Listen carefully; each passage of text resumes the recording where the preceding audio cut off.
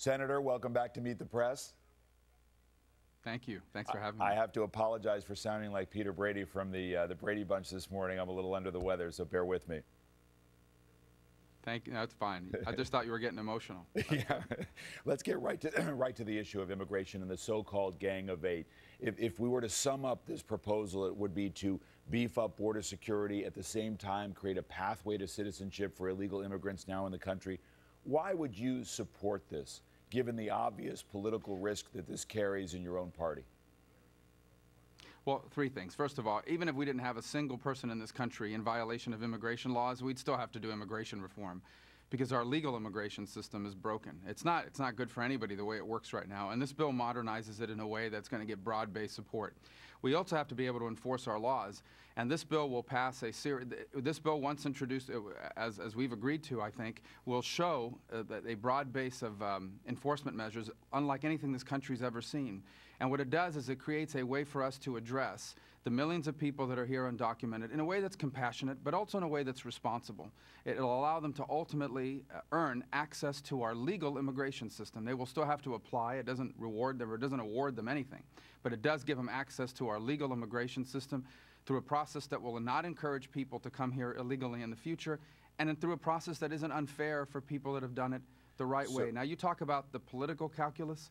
I, I, quite frankly, have avoided making the political calculus on this issue because for me, and this may sound, you know, new to people or what have you in terms of how politics works today, but what we have now isn't good for anybody. What we have in place today, the status quo, is horrible for America. The only people benefiting from the status quo in immigration today are the people trafficking human beings across the border and the people who are hiring uh, illegal labor for, for cheap uh, purposes, you know, to be able to pay them very little. These are the only people benefiting from the status quo. It's bad for everybody else. As you well know, and the criticism is fast and furious from conservatives like Ted Cruz from Texas, your fellow senator, who says for those who are going through the legal process, they'll feel like chumps who are outside this country. His word, because those who are here illegally would get on this legal path to citizenship, even if they would pay a penalty, even if they would pay a fine and have to go through other checks.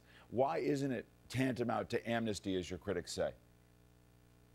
Well, first of all, amnesty is the forgiveness of something. There, in fact, there will be consequences for having violated the law, and there'll be reasonable consequences, but the type of consequences that, consequences that ensure that there's no incentive to do it this way again.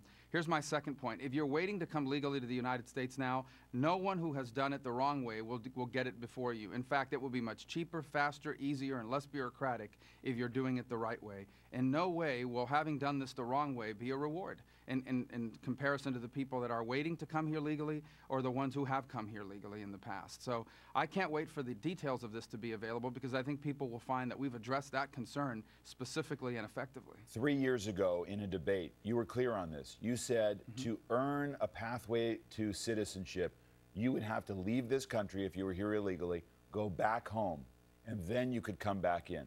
You said an earned pathway was amnesty. Yet you've changed your mind here. Why?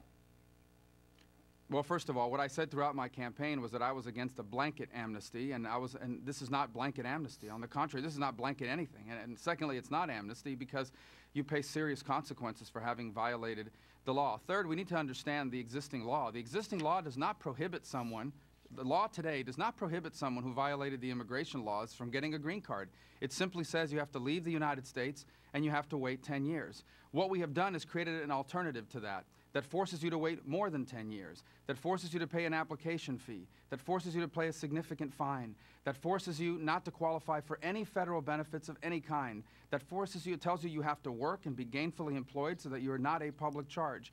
And ultimately, none of the, even with all of that, you don't gain access to the green card process. You have to apply for it. It's not, you know, it's not awarded to you, and you don't gain access to any of that until there's a universal e-verify system in place, until there's, there's, a universal entry-exit system in place. But there's place. still a change, isn't there, Senator? I mean, you, you said that you would have to leave the country before you could come back, and you've changed on that. But that's not necessarily what I've said in the past. What I've said in the past is that the, the, there is a pathway to citizenship, and that is the legal immigration system. And all this bill does is give people access to the legal immigration system. It allows them to earn an access to the legal immigration system. And so what we are doing is we are creating an alternative to that path that exists now. And quite frankly, it'll be cheaper, faster and easier to leave and wait 10 years than it will be to go through this process that we've designed. The, the political problem the party faces, Republicans face among minority communities, is so large if you look at the results from the 2012 election. You've spoken to it, as have others. And I wonder whether this is enough the party's repositioning, your leading the way on immigration is enough to overcome some of those difficulties. As you know, Colin Powell was on the program earlier this year. He had some comments about the plight for the Republican Party, and I want to get your response to them. I think what the Republican Party needs to do now is take a very hard look at itself and understand that the country has changed. The country is changing demographically. And if the Republican Party does not change along with that demographic, they're going to be in trouble. There's also a dark a dark vein of intolerance in some parts of the party. What do I mean by that? What I mean by that is they still sort of look down on minorities. Do you agree with that? And do you think that these efforts on immigration are enough to overcome it? Well, first of all, I don't agree that the Republican Party is characterized by intolerance or looking down on anybody, and I respectfully disagree with someone who I think has served our country admirably. I will say this to you. Um, obviously, there, there's political ramifications to everything we do in Washington, but it's not the reason to do it. And it certainly isn't the reason why I'm involved in doing this. I'm involved in doing this because I think what we have now is terrible for the United States of America. We have a legal immigration system that does not work. It does not reflect the economic needs of this country in the 21st century. It needs to be modernized, and our agreement will do that. It will modernize the legal immigration system in a way that is more merit based and jobs based and less based on whether you know someone who already lives here. And that's an important development, along with the ability for people to access the workforce in the high tech fields, et cetera. The second thing this does is it puts in place effective enforcement mechanisms unlike anything we've ever had in the history of this country before. My last point on this we, I think Republicans need to do a better job of reaching out to everyone in the United States. Politics is always about getting the support of the majority of our people. And I think the best way to do that is for the Republican Party to prove, as I think we can, that we are the party of upward mobility. We are not the party of the people who have made it. Certainly, we don't begrudge people who have made it. We celebrate what they've done. And in America, we've always celebrated success. But we are the party that stands for the people who are trying to make it, the people who are trying to start a business out of the spare bedroom of their home, who are trying to give their kids a better life. And the only way that's possible is through the American free enterprise it, system, which the Democrats and the left are undermining. Isn't the hole rather deep? I mean, look at, uh, based on our recent poll, uh, favorable, unfavorable ratings among Hispanics in this country, comparing you to Hillary Clinton here. Look at, she's at 63-13, you're at 23-12, similar advantages that the president has over you. Isn't that a sign of just how big the hole is, even among Hispanics in this country, between you and, you and know, two top-tier Democrats? I don't know anything about these polls, and I quite frankly, I don't spend a lot of time analyzing them. This is not about improving anyone's polls number, numbers. This is very simple. I'm a senator. I get paid not to just give speeches. I get paid to solve problems. This is a serious problem here in Florida. We have millions, this is a serious problem in America. We have millions of people in this country who are illegally here. We don't know who they are, where they are. Some of them aren't, most, many of them aren't paying taxes. Uh, it's not good for them, obviously, either. It's not good for our economy. We have a legal immigration system that our business community is telling us is keeping them from creating jobs Understood. that could lead to economic Senator, growth. We, we, we have immigration laws that aren't being enforced. Is there something that happens in the amendment process, additional uh, opposition from conservatives, that causes you to step back and say, I can no longer support this compromise agreement? Well, I've been very clear about my principles of what reform needs to look like, and if this bill were to somehow to abandon those principles via the amendment process or what have you, certainly I wouldn't support that. But I don't anticipate that. Now, look, there are amendments, okay, amendments designed to make a bill better, and I think that's important. What we're working on is a starting point.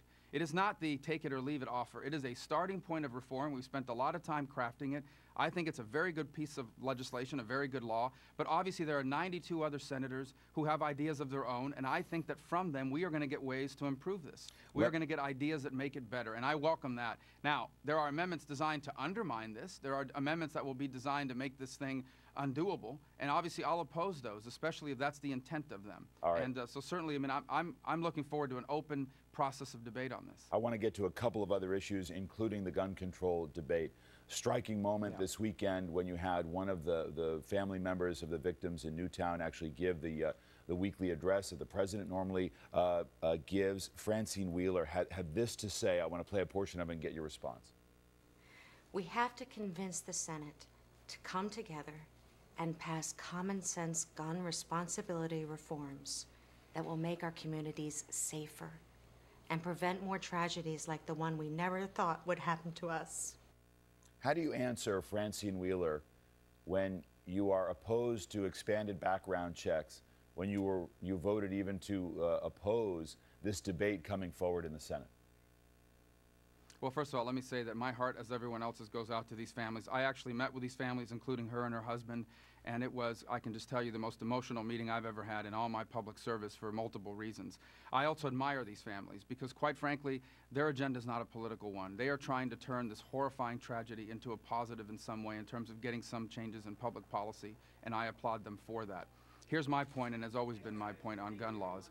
They are, they are highly ineffective in terms of accomplishing the following goal, and that is to protect the right of law abiding citizens to possess weapons, which the Second Amendment guarantees, a constitutional right, and they are ineffective at keeping guns out of the hands of dangerous criminals who, quite frankly, because they're criminals, don't care what the law is. So I'm not opposed to, to all gun laws. I'm just opposed to the ones that don't do those two things. All right, but that Senator, don't protect the right of There- people to possess firearms and to keep it on But- the hands of criminals. don't you need to be challenged And I don't here? think these proposals accomplish that. But Senator, there are existing background checks at the federal level. You know that. Mm-hmm. This would expand those Yep. checks in order to shore up certain loopholes. How is it that those additional checks would undermine the Second Amendment?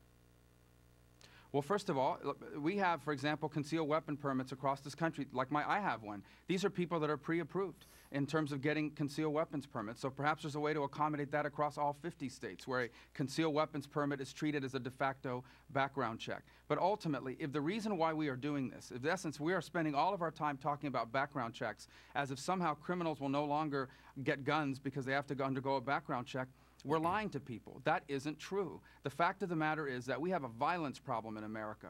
Guns are what people are using, but violence is their problem. And no one is having a debate about the violence problem. And I think this is a missed opportunity to have an honest and open conversation in this country about why these horrifying things are happening. Not simply what they're using to carry this out, but why are people doing this to begin with? Senator- and all the focus is on laws that only law abiding people are going to are going to follow. You know the political analysis right now as a prospective 2016 nominee. You've got to be careful not to stray too far from the Republican Party on guns, particularly when you're stepping out and trying to be a leader on immigration. So you got to pick your areas where you're going to stand out. Well, David, I disagree with that analysis. My position on guns is the same they've always been. The Second Amendment is a constitutional right. I didn't write that into the Constitution. That's in there. And any time that you're going to do anything that impacts a constitutional right, the scrutiny should be very, very high. And that's what I'm applying to this. If someone can pr- produce a law that keeps guns out of the hands of criminals but protects the right of law abiding citizens to possess them and doesn't infringe on those rights, I would consider that. But the proposals I've seen so far, now I haven't fully read the Toomey Manchin uh, compromise, but all the proposals I've seen so far do not achieve that goal. And quite frankly, they are overpromising, and we are missing a golden opportunity to have an important debate about violence in our society. Violence in our society is the problem. I want to ask you about North Korea as the administration waits for a potential missile launch from uh, Kim Jong un. How do you think the administration has handled this? How do you diffuse this crisis? Well, I don't have much qualms with the way they've handled it, to be quite frank. I think they've, they've taken the appropriate steps in terms of repositioning assets to the region to protect the United States and to make very clear that we are going to live up to our security obligations to our allies in the region. The truth of the matter is that I think it's a mistake to view North Korea as a government. It really is more like a criminal syndicate. And this young man who's now in charge of government there is even more erratic, as hard as it is to believe, than his predecessors. So it's a very dangerous situation. I, I'm glad to see that Secretary Kerry visited China yesterday. I think it's important that the Chinese weigh in on this. I think in the long term, it's in the goal of everyone to see a unified Korea that actually provides for the people of North Korea the kind of life that they need. And I think certainly in the short term, what we have to ensure is that all of our allies in the region clearly understand that we are going to live up to our security commitments, that we are positioned militarily to be able to defend the United States if, in fact, these guys carry out an irrational or irresponsible act and It- long term to make them understand that this pattern of irresponsible behavior followed by some sort of reward in the form of food aid that those days are over and that is what's very important that we not reward that behavior with any sort of aid You were critical of the administration this week after uh, a, a trip down to Cuba by Beyonce and Jay Z.